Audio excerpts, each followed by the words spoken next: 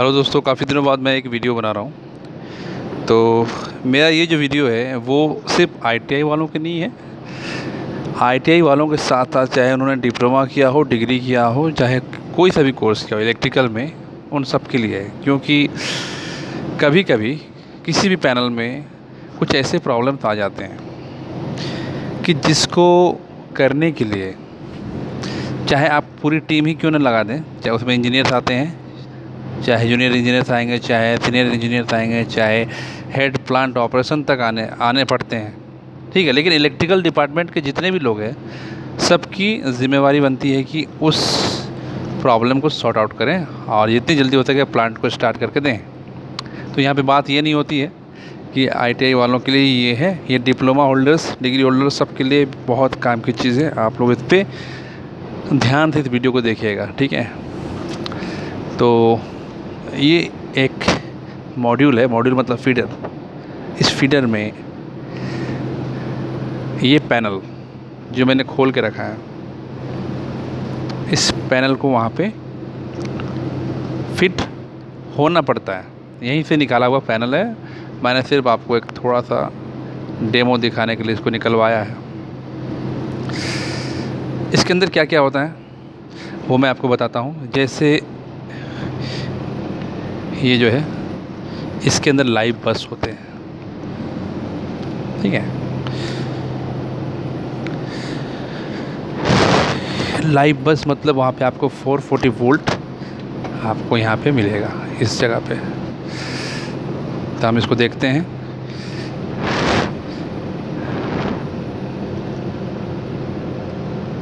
ये है इसके अंदर, आप देख सकते हो अंदर। ठीक है ना? ये 440 वोल्ट इस पर अंदर बस बार में है। ये पूरा पोर्शन जो है 440 वोल्ट। इसके अंदर आर वाई बी, तीनों बस लगे हुए हैं। फिर से मैं दिखाता हूँ, अगर जिन्होंने अच्छे से नहीं देख पाया हो। ये रिस्की होता है, कहीं पे भी आप काम करोगे तो बहुत ध्यान से ये है ठीक है।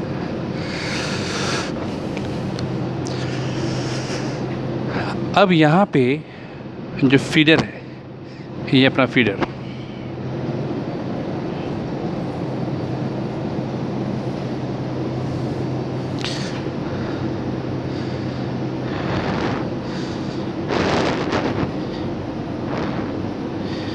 ये वाला हिस्सा।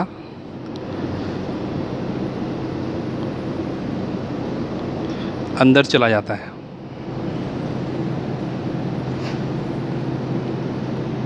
ये वाला हिस्सा जो है, वो यहाँ पे फिक्स हो जाता है।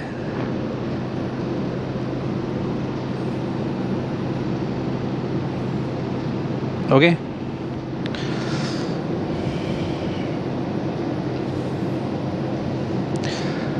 उसके बाद इसके अंदर ये एक ड्यूल स्टार्टर है।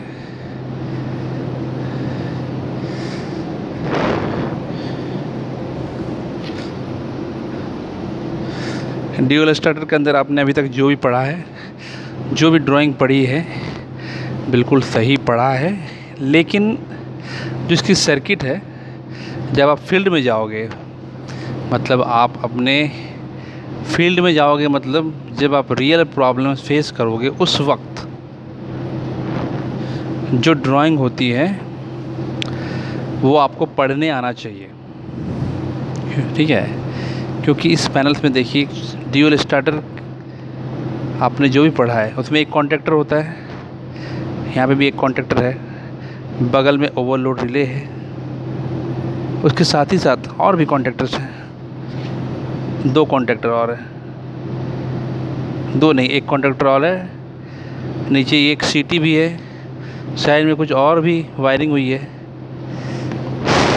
और ये देखिए आप इतनी सारी वायरिंग हुई है ना। अब जब किसी वजह से ये फीडर, पावर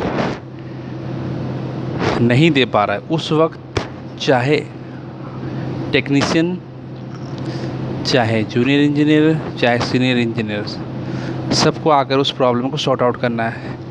आप जितनी भी बड़ी पोस्ट में होंगे, उस, तब आपकी रिस्पॉन्सिबिलिटी उतनी ही बढ़ जाती है। ठीक है? क्योंकि जो भी नीचे लेवल पे हैं, वो तो कह सकते हैं कि, सर, मुझसे नहीं हो रहा है, अब आपको करना है। उस वक्त आपको आकर इसे देखना ही पड़ेगा।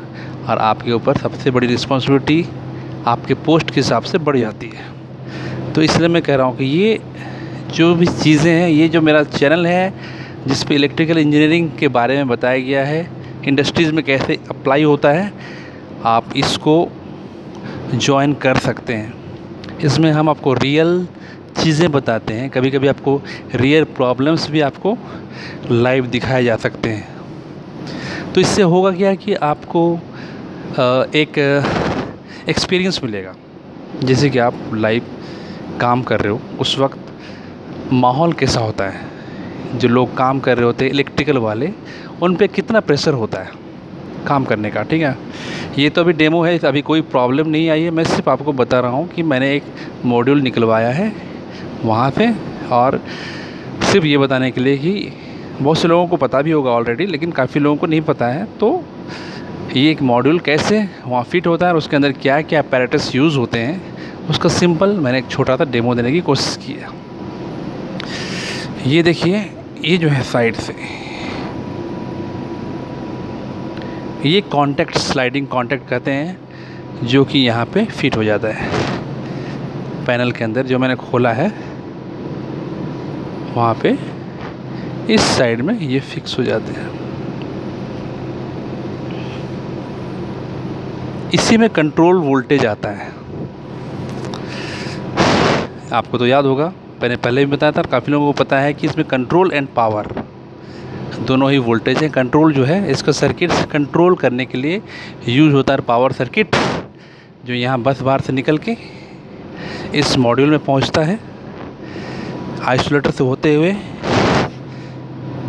ओवरलोड होते हुए कॉन्ट्रेक्टर से निकलता है।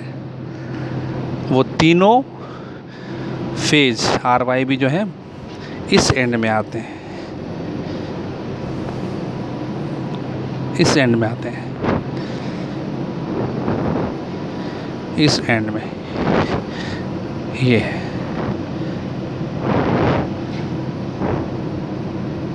ये है आउटपुट और ये आउटपुट आपके लग जाता है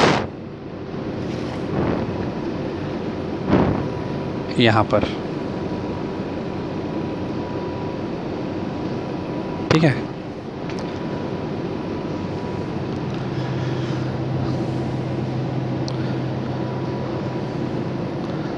और उसके साइड में केबल जोड़े हुए हैं। वो खोलने के लिए हमें देखने के लिए इसे खोलना पड़ेगा। आ, शायद कुछ खुला हो तो मैं आपको दिखाऊँ।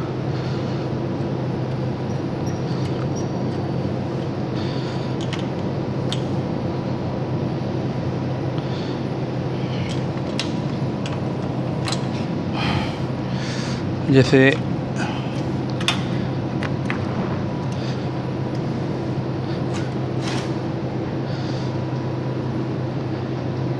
यहाँ पे भी आपको मिलेगा नहीं।